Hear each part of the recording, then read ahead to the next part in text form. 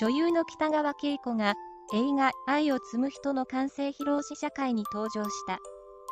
北海道の美瑛町を舞台に夫婦愛を描いた作品で、妻に先立たれた夫が亡き妻から届く手紙に励まされながら人生に向き合っていくというストーリー。佐藤浩一と樋口かな子が演じる夫婦の一人娘役を演じた北川は、理想の夫婦のあり方とは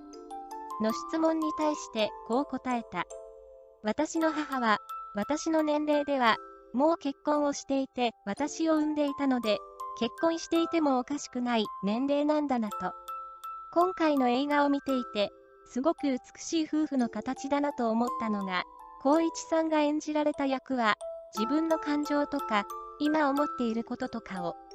はっきり言葉にしないと思うんですけれども、それを、いつも奥様がおもんばかったり、察していたりという、言葉じゃないところで、形じゃないところで、ちゃんと思っていて、また、お互いがいることで支え合っているという、そういう言葉や形じゃない愛っていうのが素敵だなと思った。持ちつ持たれつ支え合って、長く一緒にいられるのが一番いいんじゃないかと思いますね。無償な愛が素敵だと思います。と答えた。